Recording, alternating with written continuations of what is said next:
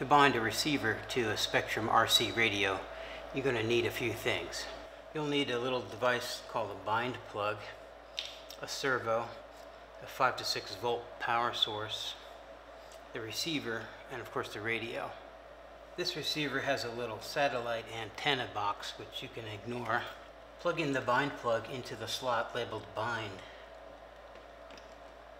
Plug your servo wire into any slot with the black lead toward the outside. Here I've chosen elevator. Next apply power or plug in an external battery pack.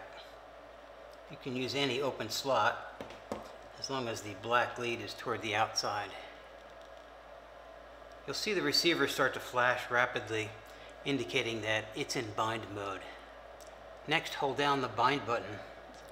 On this radio it's located on the top. While holding down the bind button, power on the radio. The radio will search for and bind to the receiver. The flashing LED will turn solid when you have a good connection.